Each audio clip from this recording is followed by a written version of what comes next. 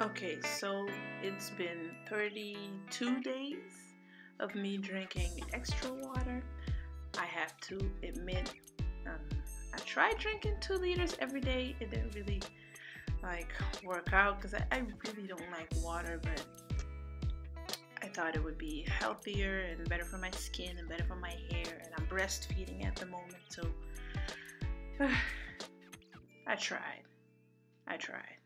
The first two weeks, I started uh, breaking out around my chin area, on my cheeks. I had a lot of pimples. You can really see them, but you could feel them. It was very bumpy and rough.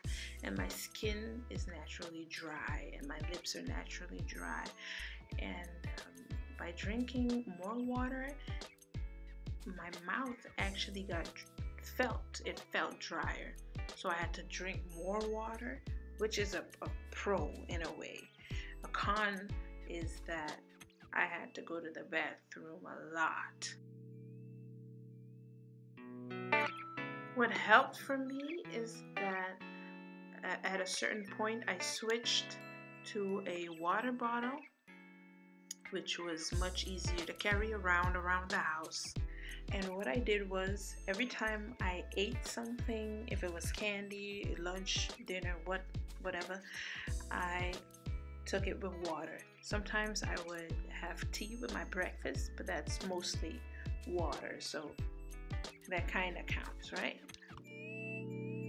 I must say, the first week or two, it was tough because I had to remind myself to drink water. As you can tell, I have a, a, newborn, and it was kind of hectic at first. But after a while, I kind of got used to it and I started liking it. But my conclusion is that 30 days are not enough. I'm gonna continue drinking more water. I'm gonna try to up it to three liters every day because my skin it didn't get better. I got a lot of pimples. It's still dry and I kind of picked at them. Don't do that. Don't do that. Now I gotta get rid of those marks, but anywho, that's another video.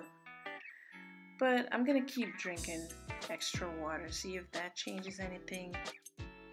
But for now, this is it. This is this is my uh, skin, dry, no product on it. Normally, I would use almond oil or coconut oil or some kind of moisturizing oil, but if anybody knows a product or uses a product that is very moisturizing or perfect for dry skin, just let me know in the comments and maybe I can try it out, see if it works for me. But until then, I will see y'all in my next video. Later.